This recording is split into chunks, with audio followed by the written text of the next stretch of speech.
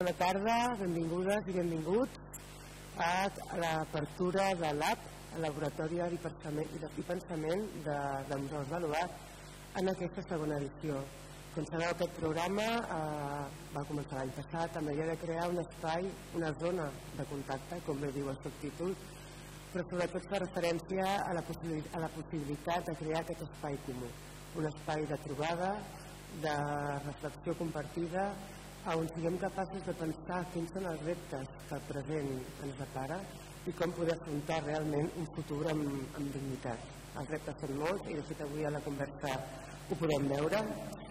Eh, el programa, com sabeu, és un dels eixos troncals de, del museu, és com una de les línies estructurals des, de des d'on pensem no, eh, no només en el programa mateix, sinó com a, a mesura que passa eh, les, eh, els mòduls, eh, les trobades, els ponents, rebem el vostre feedback, etc., també anem modificant aquestes maneres de fer.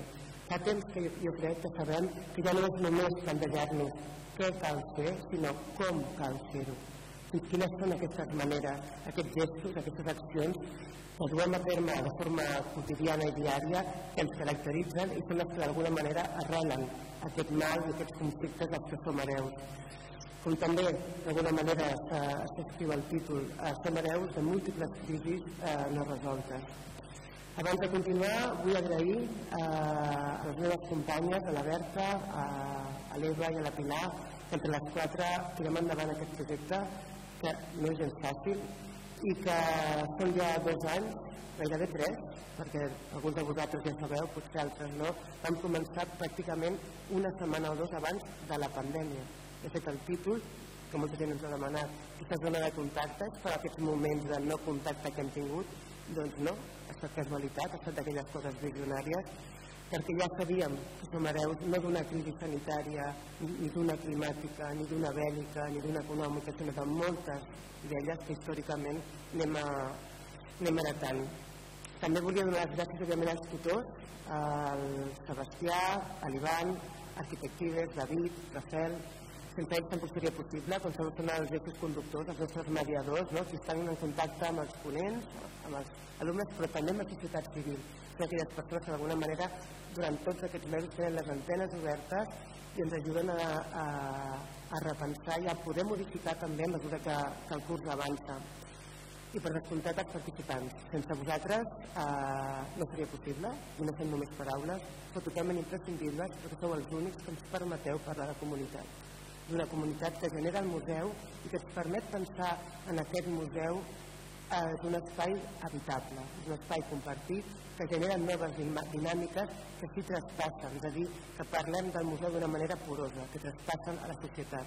De fet, el tret diferenciador del NAP d'aquest any respecte a l'any passat és també com hem enfocat aquesta part més pràctica o activa des d'un punt de vista funcional eh, precisament perquè corregim, eh, perquè hem vist que potser era, podria ser útil ser capaços de, tot i que estan cinc mòduls, eh, a repensar la institució, feminismes, fronteres, ecologismes o treball, estan íntimament relacionats eh, un concepte que sense un avui en dia no es pot parlar de l'altre L'any passat vam treballar de forma individual, si més no aquesta part més pràctica.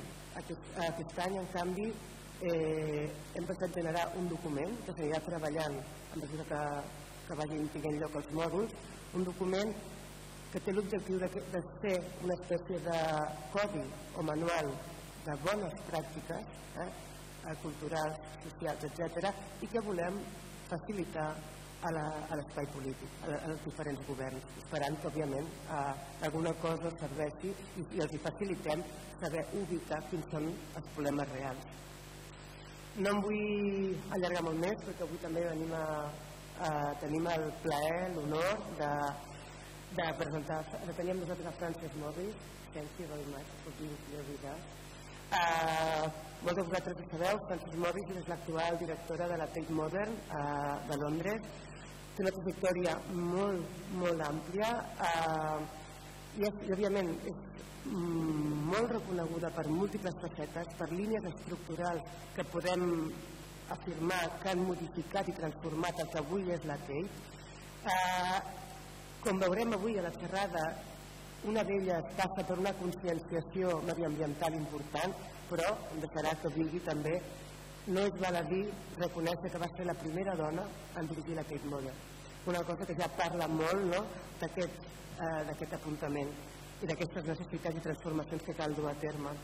Parlar de feminisme avui no és només a, a abordar una qüestió de gènere, a dir, parlar de feminisme eh, avui en dia vol dir apuntar l'estructura mitjançant la qual el nostre sistema es configura. Vol dir abordar el tema racial, de classe, mediambiental i, òbviament, també el, el de gènere. Eh, Frances Morris, quan va dirigir la Tate, no hi era tampoc a l'IE, l'espai, ella va entrar al 87, per tant feia pràcticament tres dècades que ja estava al museu i el museu s'ho coneixia molt bé des de dins. No citaré tots els artistes amb els que ha treballat, perquè també són múltiples, de Louis Bourgeois, Ayako Kusama, Agnès Martin, de qui em declaro fan, a més a més, però sí m'agradaria parlar de l'apertura de la mostra de l'any 2000, on una col·lectiva que repensant la col·lecció va obrir una nova manera d'entendre i llegir eh, les obres d'art, no només en relació amb elles mateixes, sinó també amb el món en el que, en el que vivim. Una lectura transversal que una, o una història eh, pensament, activisme i moltes altres qüestions. Eh, per acabar, i ja no, no m'allargo més, sí comentar dues petites anècdotes, no crec que sigui a casualitat, que en una plataforma de Llatinoamèrica, eh, eh, un grup de, una plataforma feta per un grup d'activistes, artístiques, agents culturals, que tenen diferents categories i que l'objectiu de les quals és esdevenir un espai de memòria no? i reconeixement a dones emprenedores, tinguin també a Frances Morris, Frances Morris amb el concepte vacant. No? És una mujer bacana per a elles, és a dir, tenen diferents etiquetes i crec que és una cosa molt especial no? que elles ho tinguin així. Uh, sense mm, més espai, bueno, segona anècdota, ja que s'ho tenco, és una casualitat, però quan preparava uh, la meva entrevista per dirigir uh, aquest museu, quan preparava l'entrevista, eh, òbviament, mirava diferents documents i vaig trobar-me amb una entrevista que li feien a internet on ella parlava de la seva visió d'un museu, una, museu, una visió integral. I deia una frase que és, és tan important no només les exposicions, els programes, etc., sinó també des del llibre que tens a la llibreria fins al plat que et menges al restaurant. Malauradament no tenim restaurant, nosaltres encara, estamos en ello, però res, només dir que gràcies, Francesc, per acompanyar-nos avui. Thank you very much and also you, Rachel Stein. Gracias.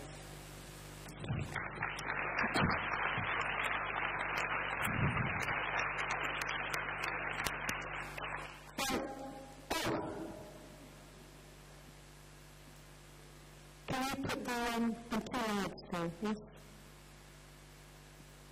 Image, first image?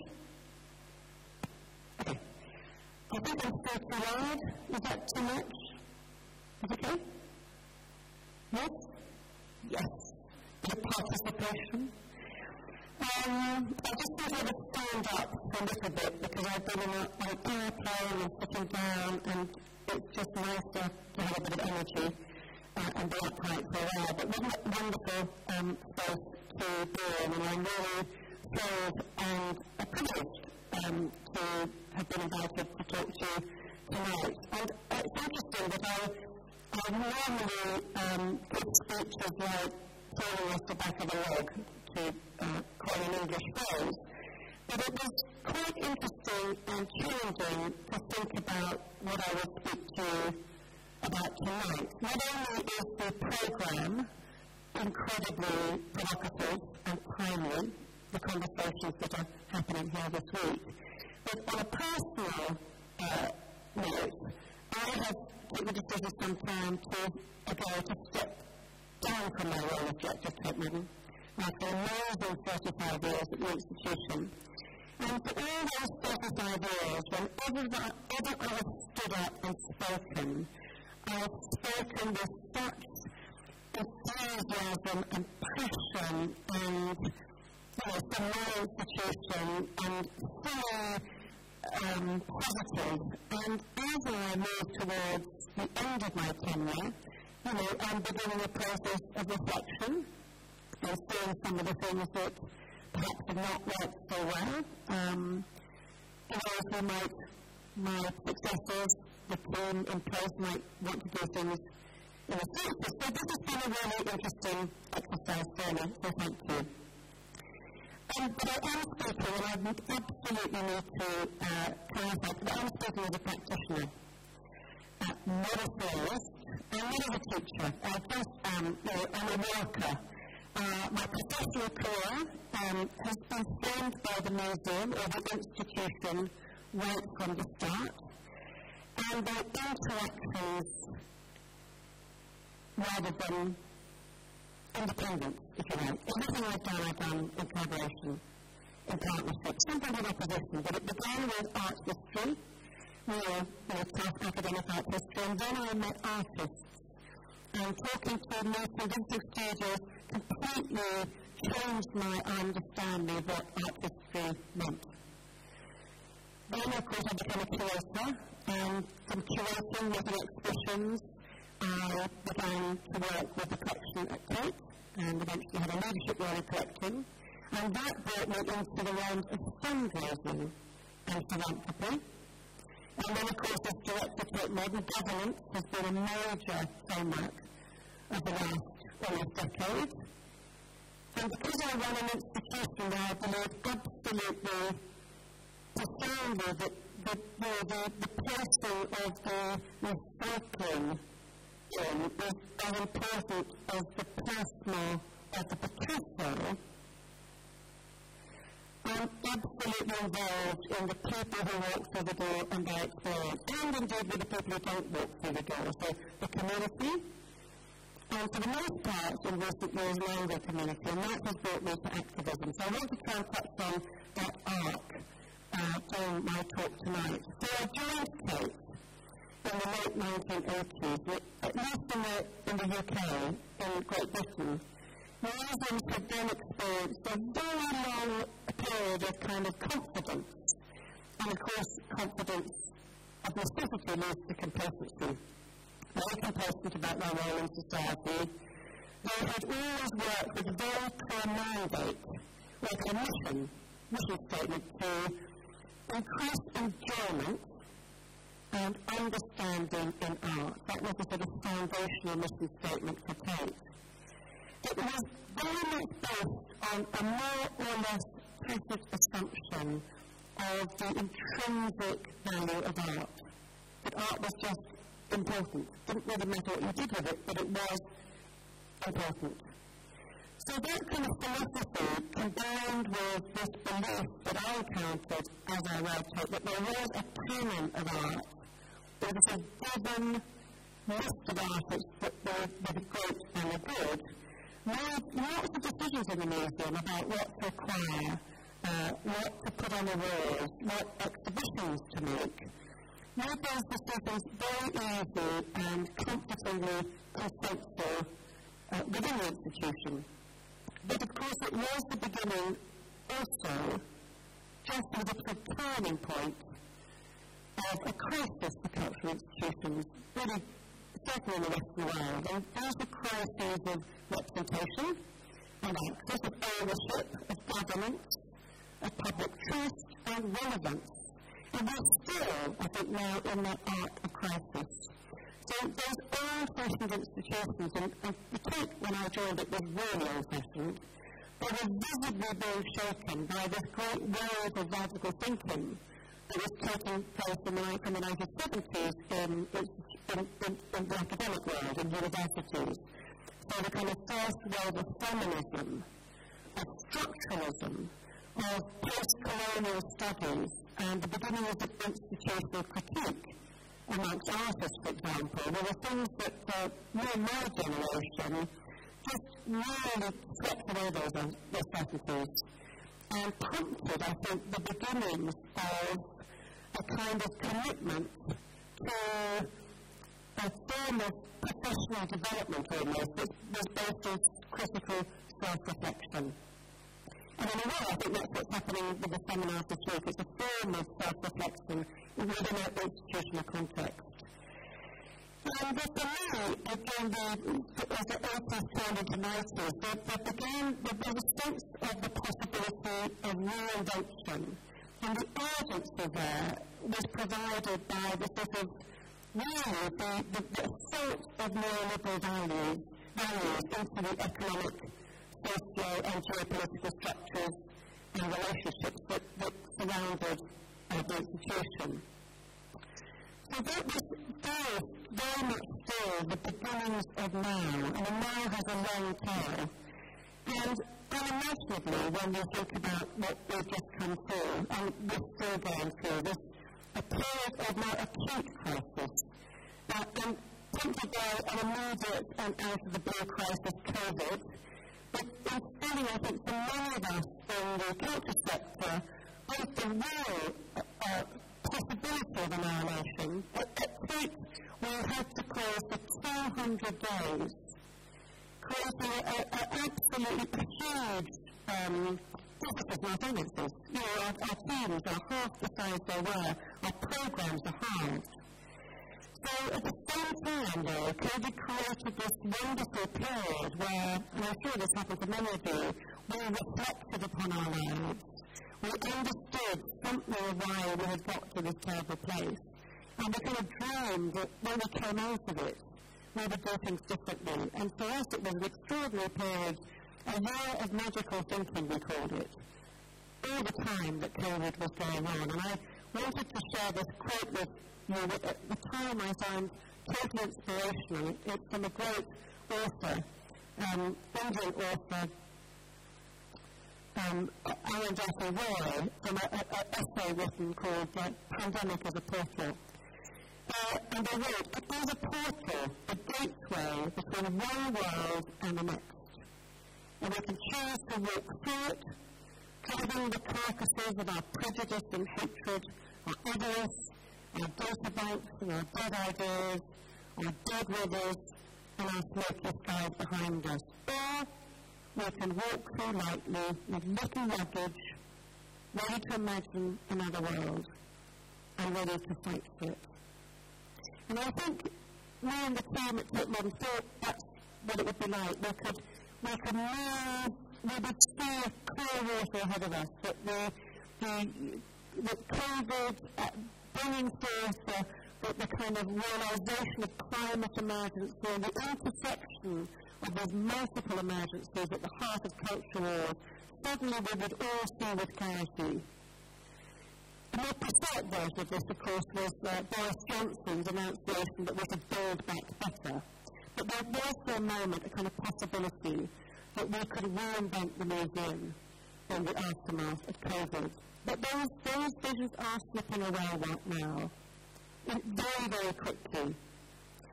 I that in my museum and I regret that. And I think that's because for many of us, what the crisis of COVID has revealed, like the kind of tip of a newly emerging iceberg, is really just a deeper global crisis underground. In fact, all around us, threatening the fate of our planet and people entwined. And it's quite clear, as I said, that climate crises intersect with other crises, the economic, um, the crises that, other, that museums like mine are facing on a daily basis that actually date from the foundational century of museums. So that age of enlightenment, ironically enlightenment, was also the era when nature was separated from culture, put on one side. It's the date when the extinction of land rights and indigenous peoples uh, dates from. It's the, the, the, dominance of Western values come from the Enlightenment period, of patriarchy, of competition and growth as core values, as good things. So these kind of are originating myths of the multiple inequalities and exclusions between global north and south, between races and genders, of education and access, of representation and empowerment, and human rights and freedom of speech. And I know that might seem a long way from the museum, but actually museums are at the epicenter of all those issues. And the agenda, in fact, for the Laboratory of Art and Thought is nothing if not timely. Because to me it brings forward the fore kind of concepts and ambitions and challenges that actually I think we've been wrestling with for the most part, ineffectually, I have to say, for most of my career. And despite all that we have tried to achieve, there is still so much more that we need to do to create relevance, value, and above all, trust. I think trust is a really important term when we're talking about museums. Trust in art, in artists, and trust in the very institution, the very buildings, the very spaces without which our museums and galleries would simply not survive. And what I wanted to do, uh, really having that, you know, long preamble, is really talk about, you know, if not now, when. Uh, there's a long, we've been engaging with these issues for a very, very long time. And there's an absolute sense of urgency now, in my view, that they need to become real and be centred. And I want, I'm to talk about some case studies at, at Tate, but before that, just because I know a lot of people who are interested in the institution, and it's very easy when we have these gatherings to talk theory, and many people have listened brilliantly, provocatively, helpfully, theoretical textbook frame, a lot of the kind of thing that I do. But actually, ideas are important, but we don't, we don't live in theory. We live in places like this, we live in buildings. Um, and buildings have complex agendas. And this is an image of what I would call the four discourses of the Public Art Museum. And I, I stole this from a colleague who, one of her four discourses was research. I decided to take research out and put governance instead. These are the things, these are the agendas that more or less sit behind any museum building. Any art museum, and in particular a contemporary art museum, you have the discourse of art and artists, which is of course, absolutely core. It's the lifeblood. It's why museums were there in the first place. But museums have to connect with the public, and their structures of governance that create their ethical codes and their, their independence of, of conflicts, of, that, that, that, that, that resolve their conflicts of interest, that give their sort of their framework. And of course, they need to survive. They may have money from uh, public funds from the government, they may be privately owned, but they have a discourse of financial sustainability. And finally, they have to have some sense of public value, particularly for public institutions. But what has been very clear to me from day one in the museum is those four things don't sit very happily together. Certainly when I arrived at Tate, the discourse of artists and the collection was absolutely paramount. But now, as we enter the, you know, the middle years of the 21st century, that discourse of public value is becoming increasingly important, as is the discourse of financial sustainability. But those two don't necessarily sit comfortably together. And as a director of the it's balancing those four things across everything we do is a real challenge. The other um, little graphic I wanted to show you is the, the, the sort of triangle. We talk routinely in the art world about values, talk about the value of art. But do you actually understand what value means and the registers of value? There are many different types of value at play within art. One of the, one of the bits of value that isn't on this graphic, but is hugely important in a city like London, that was the subject of an entire other lecture, or needs to be, is market value, the financial value, the, the, the price we put on a work of art. But these are more about unpicking the idea of the sort of, um, when we walk into a museum, what, what's happening to us. So, the, this is a triangle that was um, invented by a guy called John Holden for um, a democratic, a think tank, Demos, democratic think tank, who did some really interesting work on value between 2005 and 2015, which has been very influential to kind of understanding the complexity of value. And it looks at the uh, three interrelated, interrelated strands that can be the kind of emotional value, the aesthetic value, the spiritual, the kind of historic value, but the, uh, we have an artist present. We've just been talking about of the cosmic, the, the, the, the emotional, spiritual meaning of art. I'm sure all of you in the audience have some, art means something to you. It really intrinsically does. Because it's absolutely sort of a given. So, and it's expressed uh, as a personal experience. It's yours. You own it. It's incredibly difficult to measure. There's no register of intrinsic value. And people who don't understand art, cynics, my government, for example, simply don't get it. It's a meaningless policy. So the second register of value here is what we would call instrumental value. And all the time I've been in the art world, this is the, the, the only bit of value that governments and funders actually understand. This is about how you demonstrate how your institution contributes to economic or social purpose, to output and impact. And there's the sort of things that you can try and measure, how many jobs, you know, whether educational standards go up or whatever. And then finally, and this is the most elusive of all, and the one that I think for us practitioners means so much, is what we call institutional value, which is that kind of more intangible idea, a kind of updated version of what in the 18th century, 19th century museum directors or visionaries thought of as public good. And it references the kind of way we as institutions behave, the way we hold ourselves, but our dealings with our public, our respect for our public, our public are our guests. And it includes the kind of, the kind of notion of trust that somehow we hold collections in trust for the public, and also that ethos of public service. And those values I hope we can take into the rest of the century, but I think they are the core values that are most at risk, most at, at, at stress in, in this era in which we're living through now.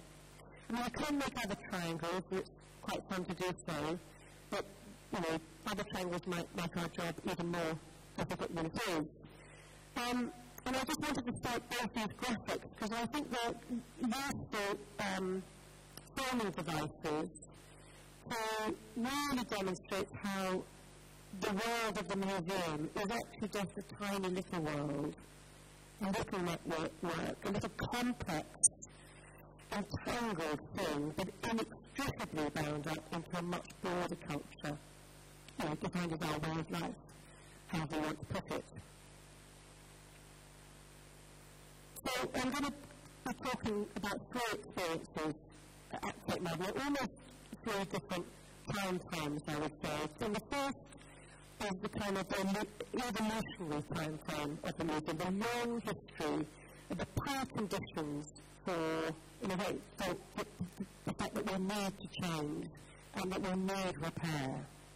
Of course, as you all know, but it's worth remembering, um, the origins of the museum in the kind of Greco-Roman um, pantheon on top of the Acropolis, 5th century BC. And the size, of course, is faith, ritual, power, learning, democracy. And of course, that is also the era, going back in time, where we can date the birth of the the canon, the idea of beauty, the elevation of the artist. And so these ideas of, uh, of the intrinsic and institutions are very, very firmly embedded uh, in the foundational museums from the 18th and 19th century, the first public museums. And of course, um, that, that model is reflected in so much museum architecture across Europe and America. And this is a picture of Tate Gallery, which is a museum that dates from the 1890s. And, and now, architecture is such a powerful metaphor, isn't it? You go up the stairs, the grand the front, the portico and the columns, the Tanya on top, flying the Union Jack, you know, nation, empire, civic responsibility, elevation, um, privilege, right from the inception, they are all there in the architecture of Tate Gallery. Um, of course, that model has changed during the course of the 20th century, and uh, even for the extraordinary um, proliferation of museum building uh, in the uh, last 20 years or so, but the, the kind of paradigm shift if one can identify them, I think would be at least in the uh, genesis of Tate Modern, I would cite first of all the um, uh, uh, the, the, introduction in the, um, oh, skipped one. MoMA, sorry. This is the old MoMA, but not unlike the new MoMA. Um, kind of perfect modern museum, a museum reflective of a new generation of modern artists, artists whose work was withdrawing from the real world into abstraction, uh, foregrounding kind of purely aesthetic notions of form or beauty, colour, kind of theoretical and spiritual, and the building very purposefully designed to show that kind of work to its best effect, the white cube, but also designed around a particular narrative of the evolution of art with a kind of uh, chronological narrative of art history leading to the development of abstraction.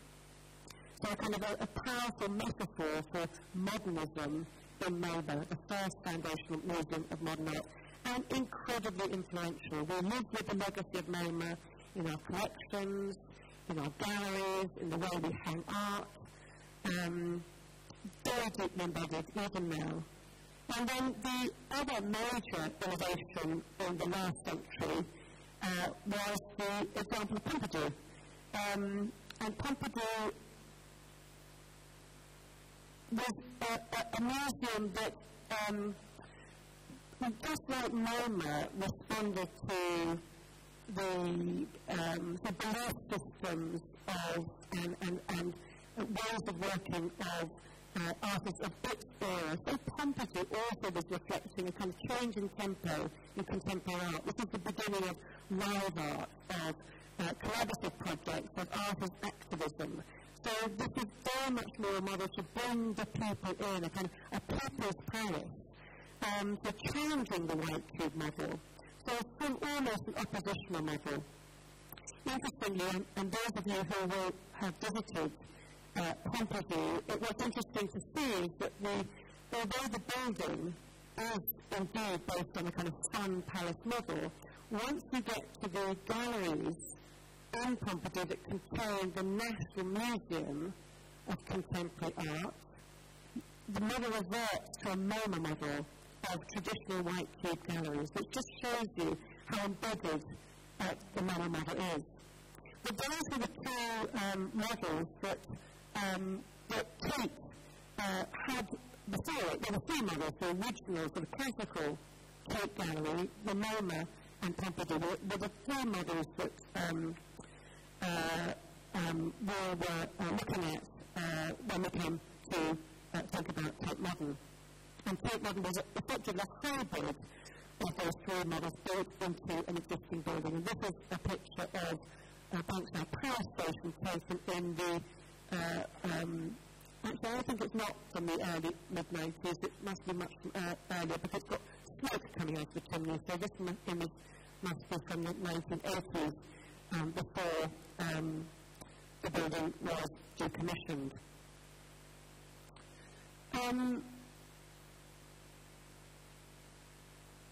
what I wanted to, so that's a building and we talked about some models, but the business of curating uh, had, by this stage, by the 1990s, I'm talking about, had moved on significantly from the business of curating that I encountered when I first joined it in the 80s. And but again, that, the changing nature of curating was very much influenced by changing artistic practice.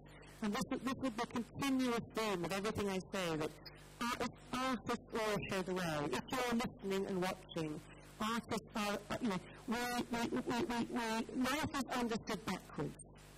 We, we think historically, always look back, but it's lived forwards, and artists are very good at living life forwards.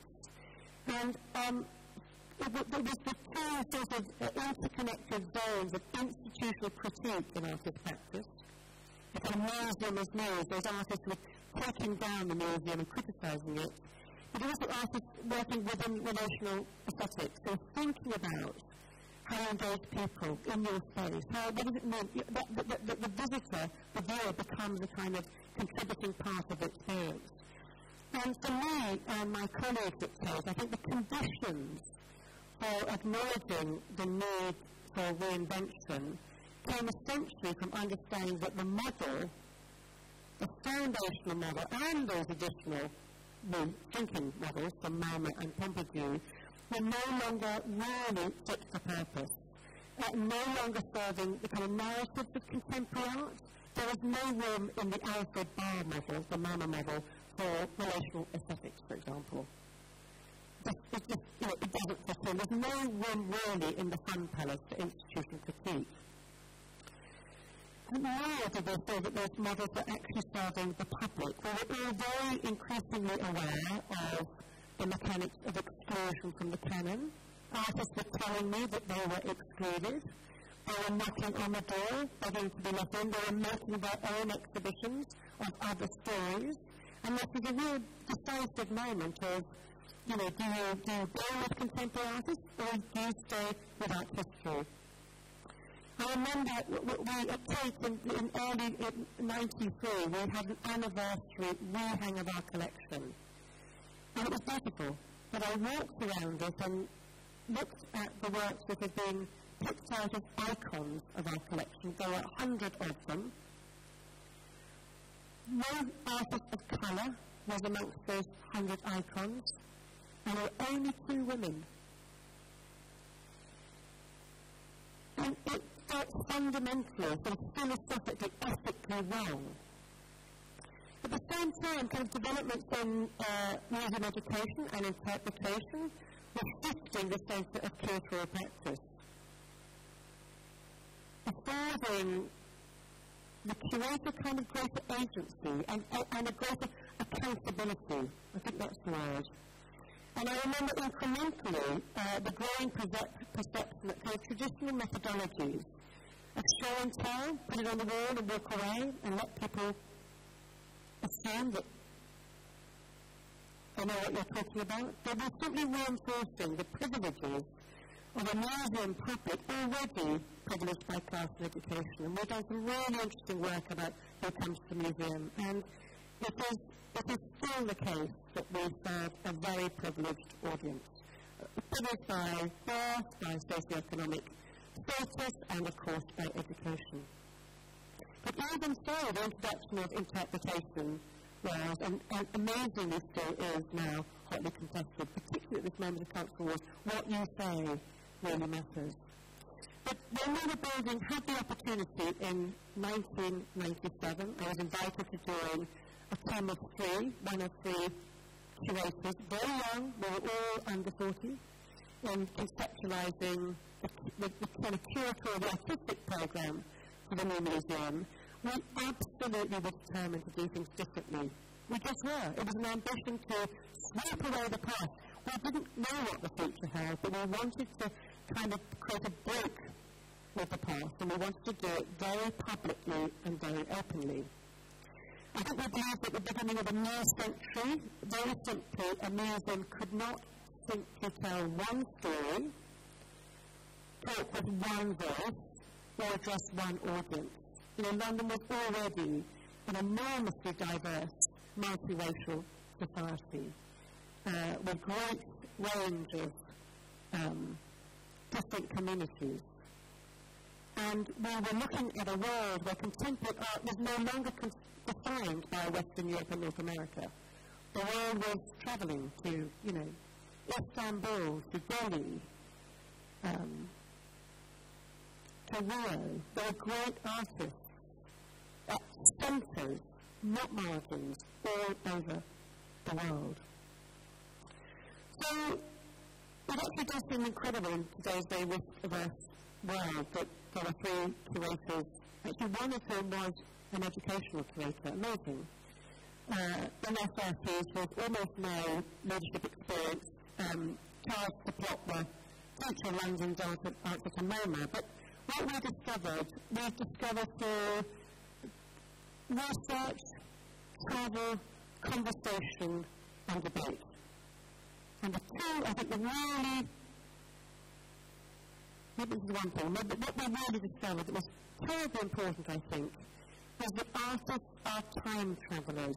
I talked about artists look forward, but they look backwards in really interesting ways. They see the past in ways that are profoundly different to the way art historians see the past, and they push at the future. And so what we did very simply, very simple, but it was complex at the time, was to follow their lead. We decided to dispense um, it didn't seem logical at the time. Uh, hang on, so I'm just going to uh, just go back a moment to the architecture, just to describe what's going on here. We're looking at a cutaway of Tate Modern. And on the right-hand side, I mentioned that Tate Modern's a hybrid. On the right-hand side of this part, you see the, the floors of galleries stacked up. And what's really interesting, despite all, I'm sure, my director's best endeavours, our galleries are pretty conventional white cube spaces.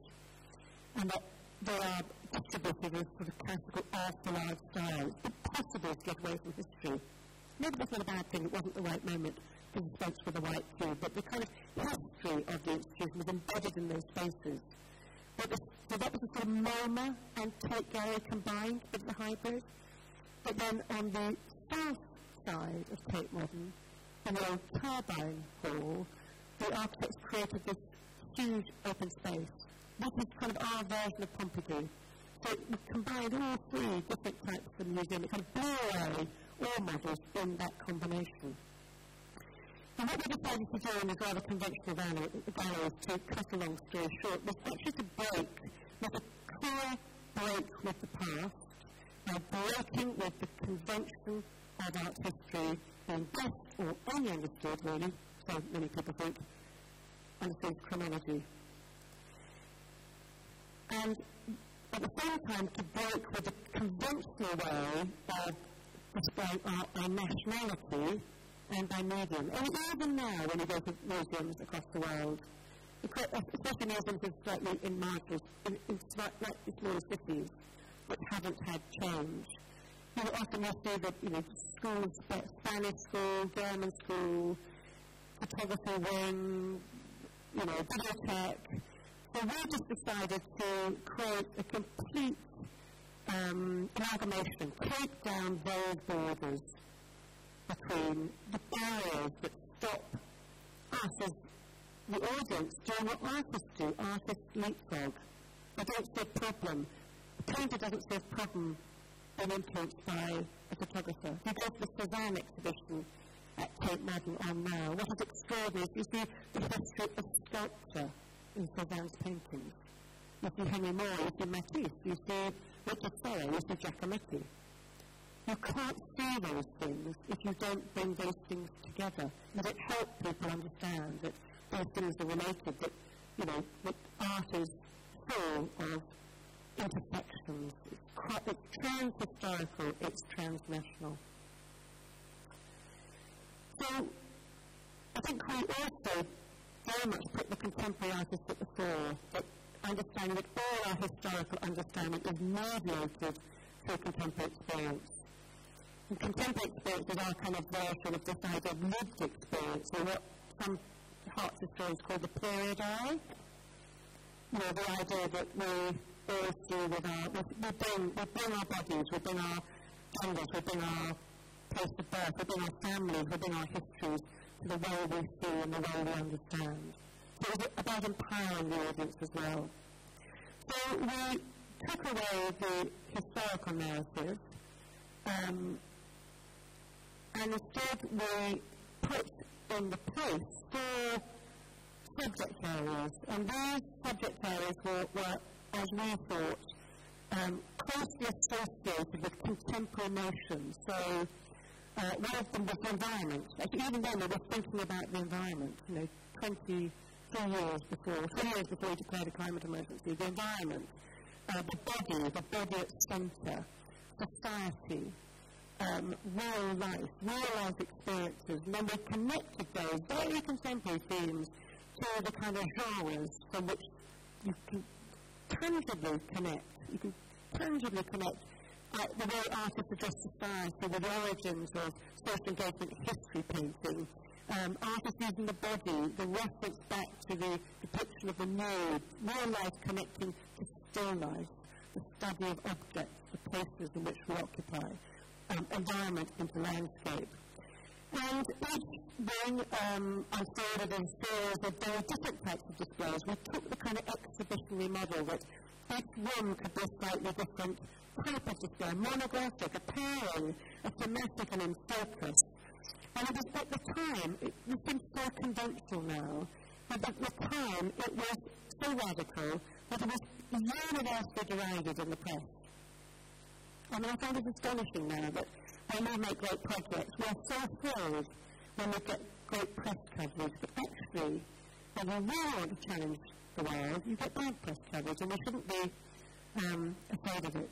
But the key thing about the opening display was that it was not intended ever to be a permanent display. It was the idea of a permanent collection, permanently changing, not to celebrate the art, not to tell the story, but to interrogate it, to open it up to new ideas, not always getting answers, but kind of posing new questions. So a work would be seen in one juxtaposition for a year, and then in another for another. So continuously changing the course of the conversation. As we walk through life, our life moves on through different conversations, different contexts with different people.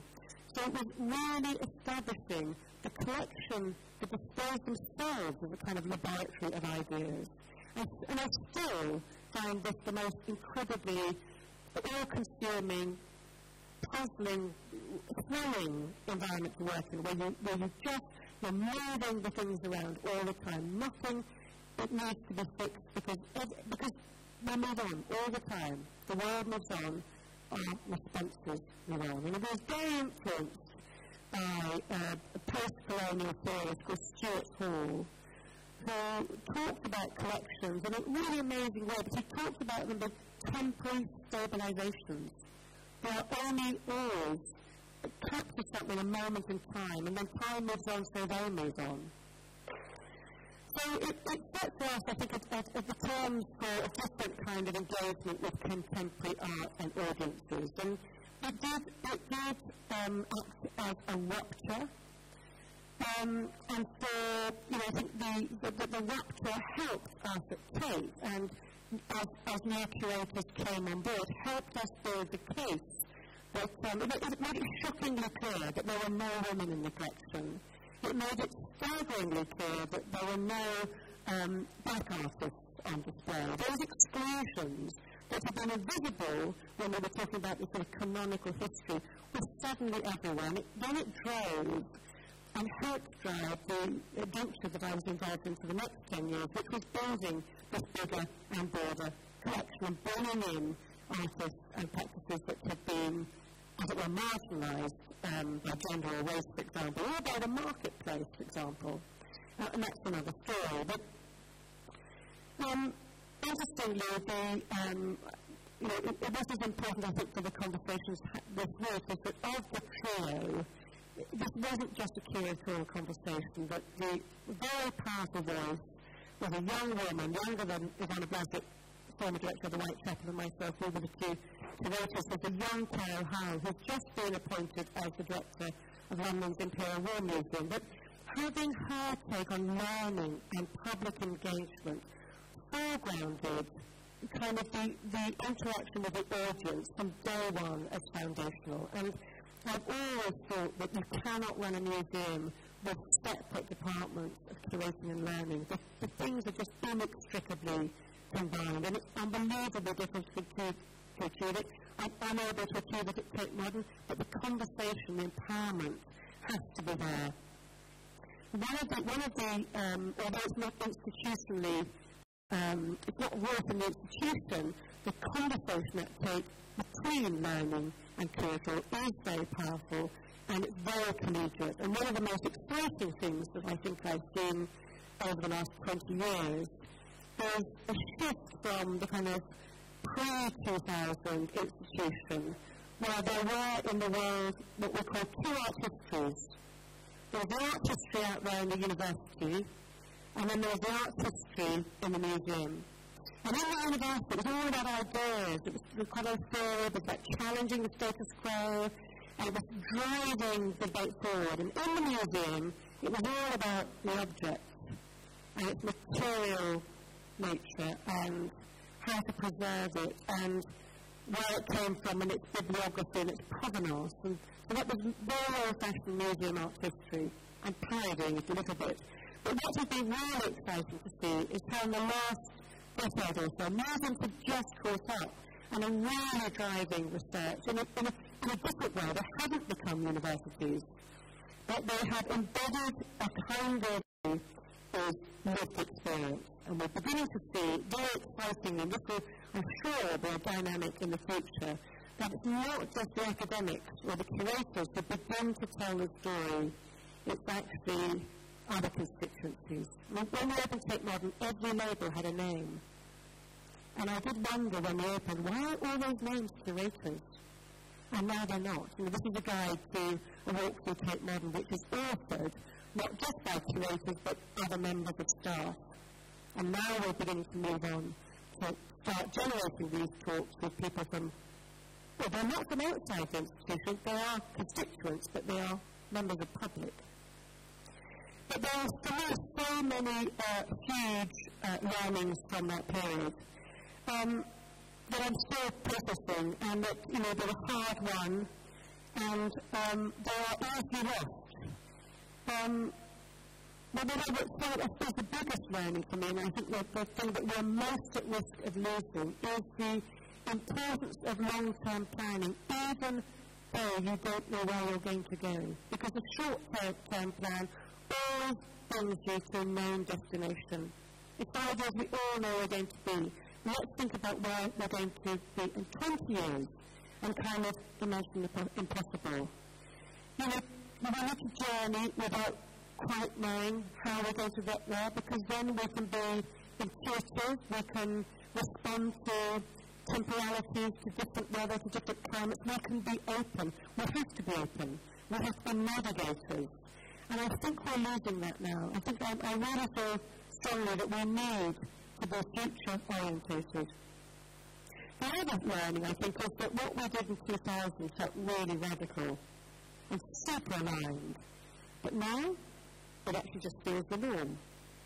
So I think we need to break the mold again. I don't know how we'll do it, but that is the next step. It's been great, but let's do something different again. And I would love my successor to take it all apart, not to to chronology, but find another way of building a museum for the next um, part of the 21st century.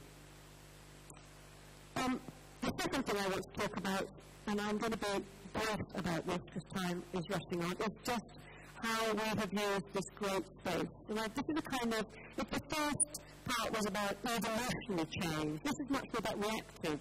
What I've just mentioned, be on your, the balls of your feet. This is such a great space. It was envisaged by the, by the architect Herzog and de Meuron as a covered street.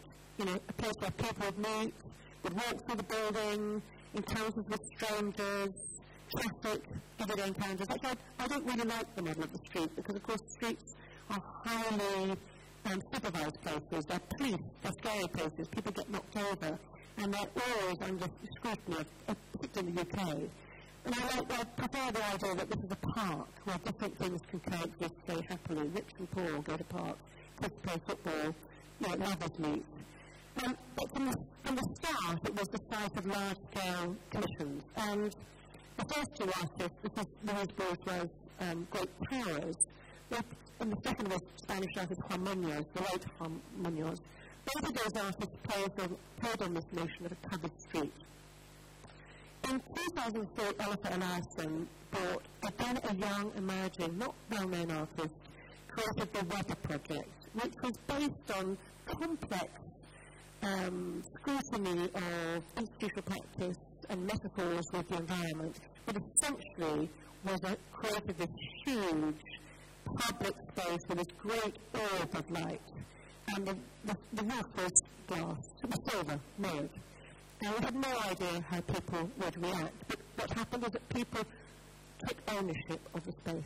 It created the kind of energy it almost, you, you can't invent the energy, but it created energy, and people came in. It's the first time that Tate Modern kind of turned in, got that magic that, that it now so often has.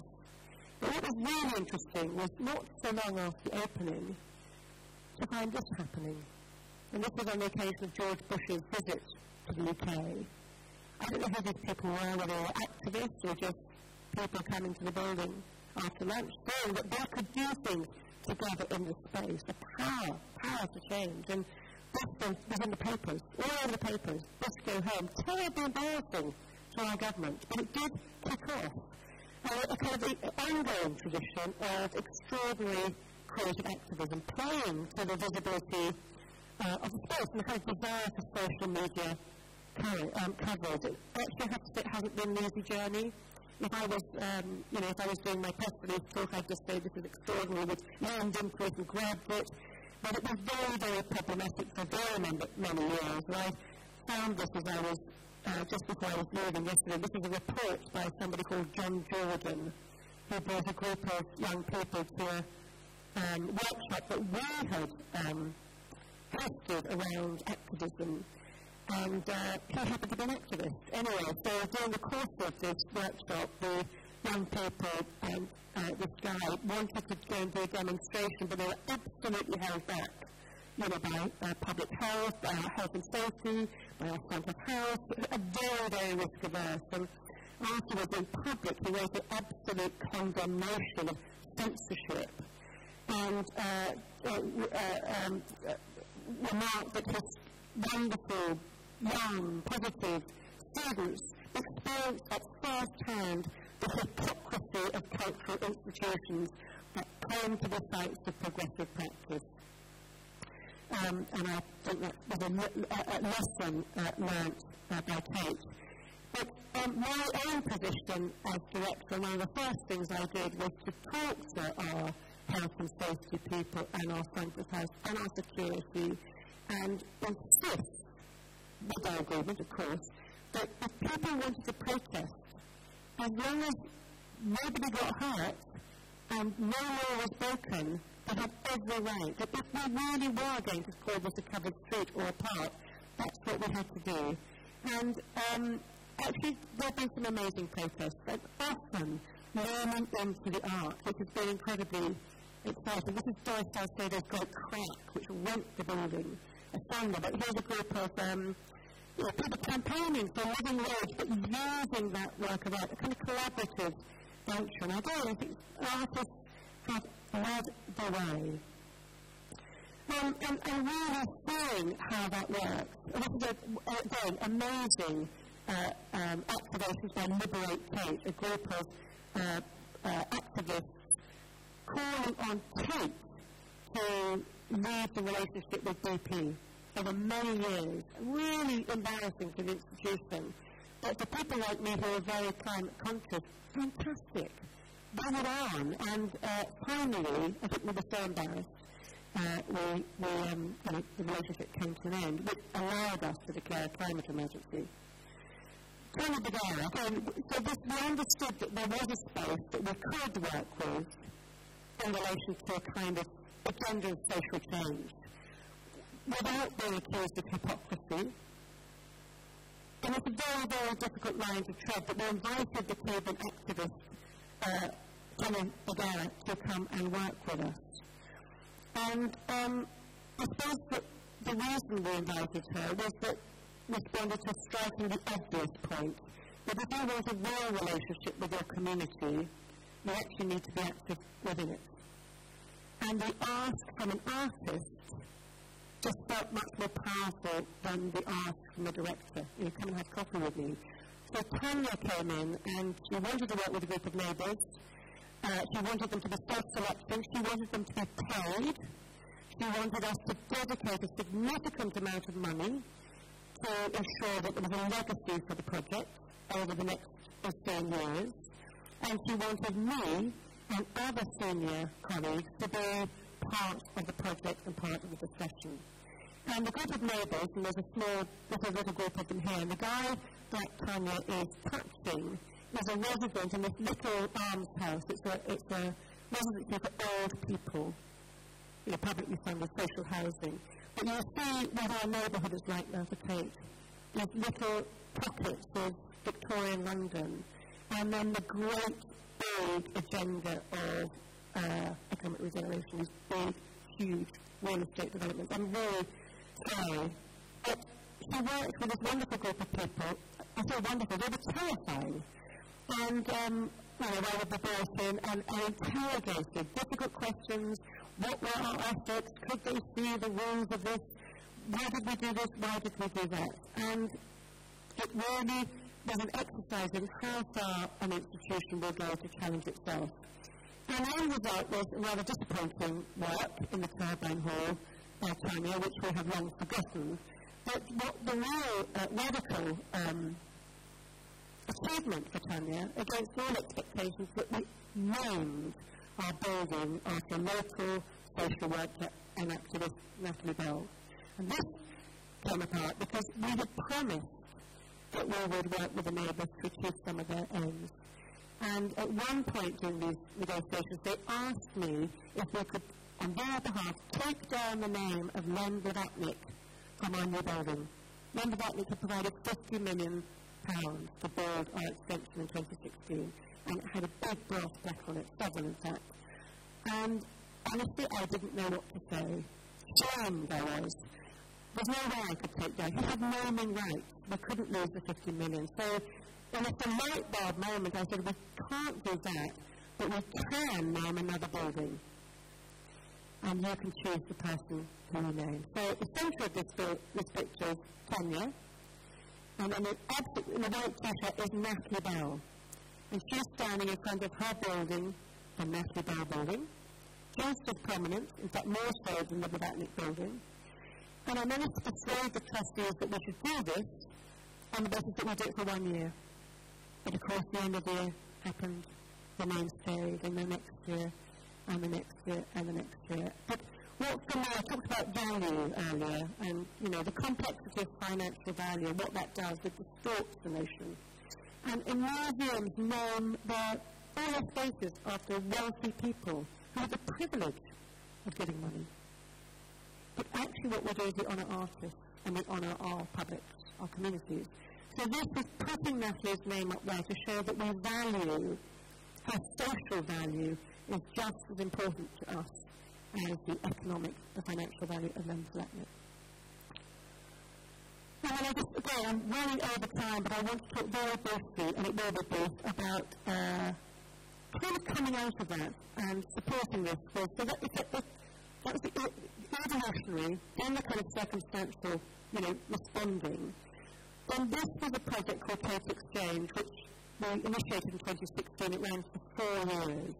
And it was an absolutely deliberate attempt to set up a kind of open experiment for scrutinising and um, experimenting with notions of the social value of art. It was kind of like, let's get real about this. But can we evidence um, that art has a value beyond the gallery walls to our communities, with our constituencies.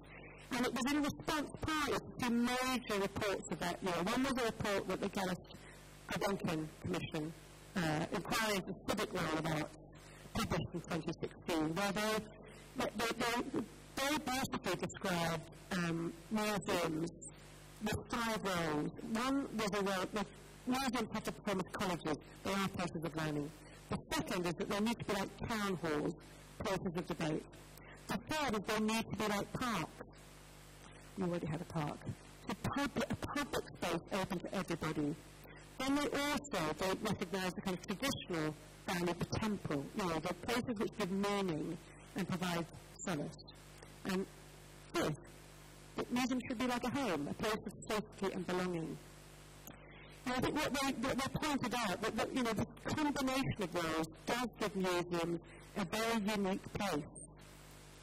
Um, you know, they have missions around social change, but what they also inspire is that combination of, you know, the intrinsic, the institutional that we talked about earlier.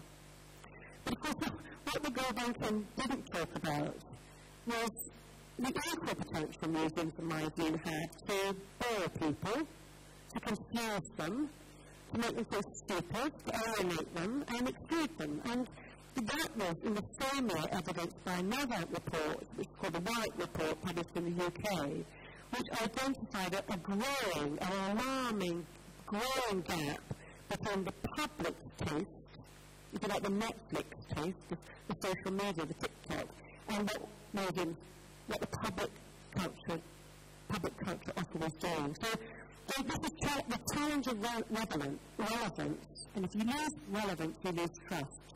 So those bits of data fed into this experimental project.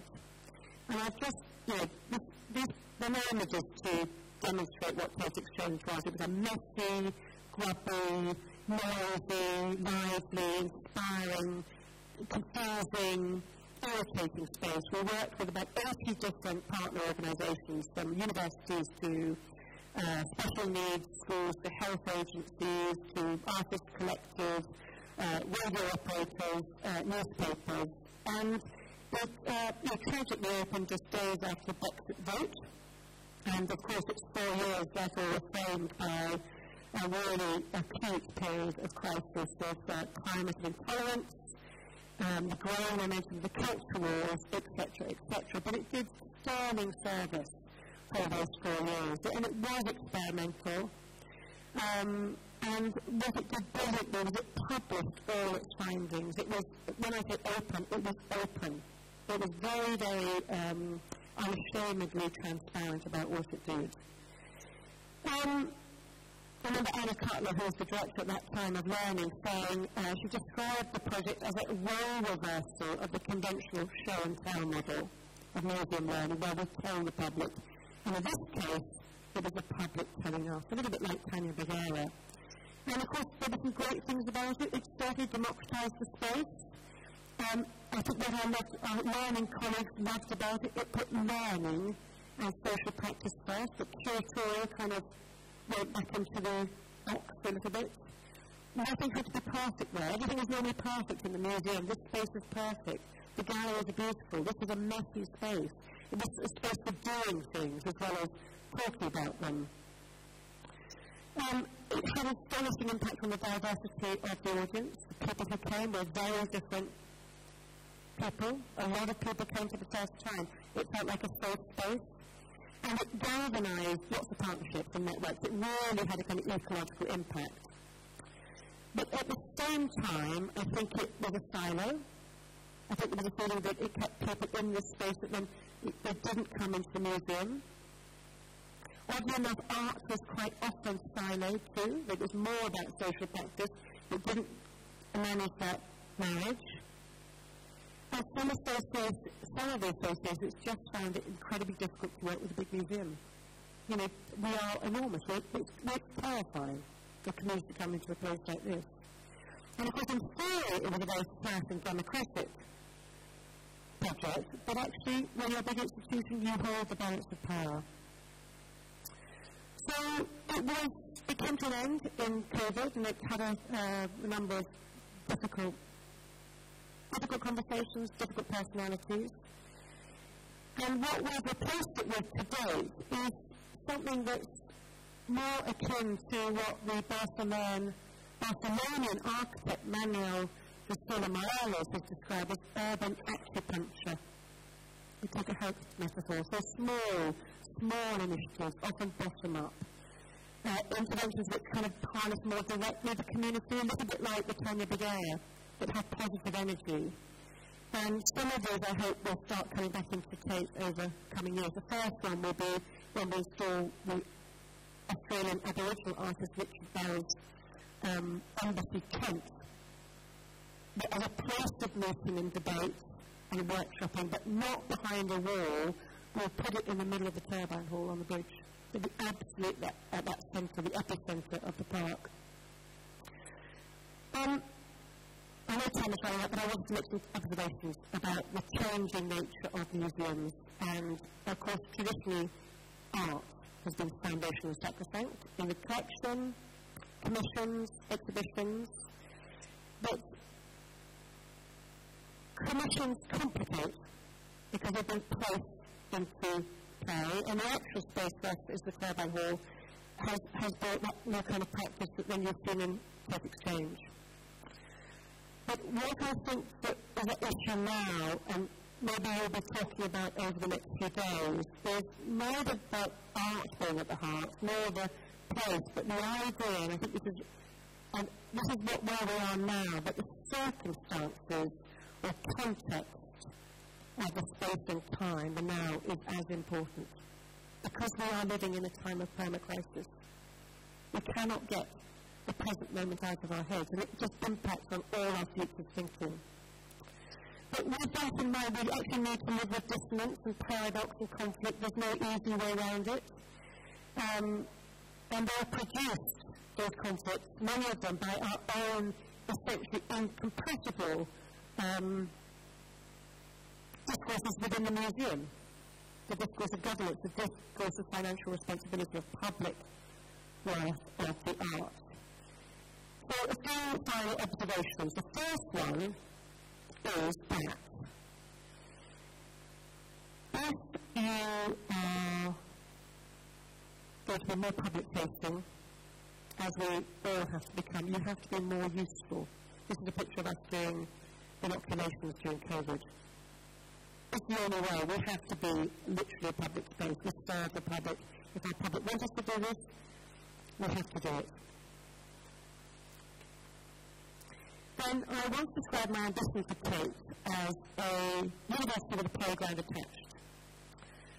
Um, but let's be very clear, play has to come first. Play is more important than the university. Play comes before learning. It's part, it's the very foundation, foundational beginning of cognitive development. So there'll be no learning, no sociability, no communication, no making without play. And uh, as institutions like Tate campaign for the value of arts education in our schools, and this is under threat in the UK, we also have to put that engagement at the heart of what we do. Children learning has to be as big as any turbine hall project. It simply has to be. The kids are as important as the artists. They are our future artists. And we also need to demonstrate leadership. We really have to be leaders. We have to do it in collaboration. We've declared a climate emergency at the invitation of artists who came into our Turbine Hall as demonstrators and we welcomed them in. It was timely. But in so declaring, we have to build that narrative into everything we do, into our uh, commissions, Cecilia Vicuña, currently on indigenous artists from Chile, all about the the petrified forest left after the, the tides have gone back. And we have to walk the talk. We have to make our buildings sustainable. We have to demonstrate that, the, the, the, what we believe in is also um, guiding our behaviours. And not just our behaviours, but our structures and our systems. And for the very first time, we're beginning to acquire uh, art, not for in perpetuity. This is a work we've acquired our Guatemalan artist Edgar Calel, we have acquired a 12-year lease on the work. It will never occupy our storage. So climate is, we're modelling system change in the way the world needs to model system change. Then of course culture wars. And this is a terrifying moment. We are at a moment where there's an urgent need to interrogate and lay bare our past. This is Kara Walker's incredible deconstruction and critique of the Victoria Memorial outside Buckingham Palace.